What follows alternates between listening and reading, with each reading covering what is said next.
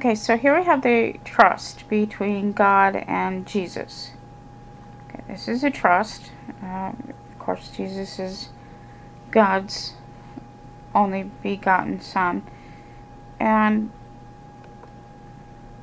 here we have a religion. Well, it's actually two of them. The first religion at the top level is money. That's the weight. The second religion, which is government, the weight is media.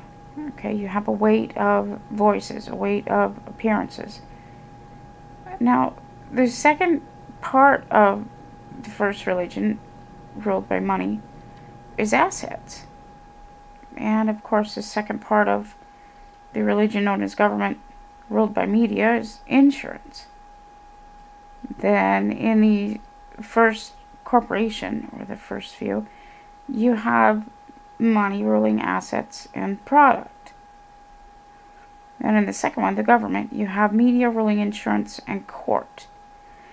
On the very lowest level is citizen. That citizen is patronizing both religion, ruled by money, assets, and product, and government, which is religion, ruled by media, insurance, and court.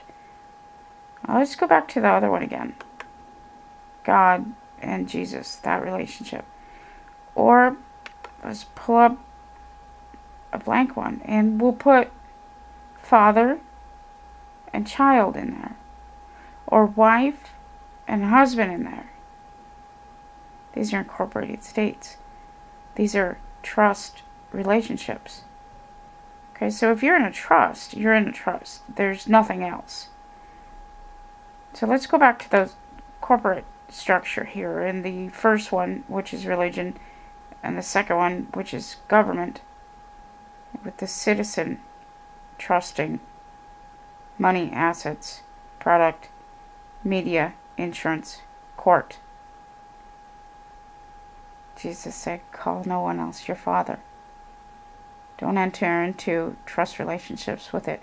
Stop buying these concepts. These are concepts. Those are fictions.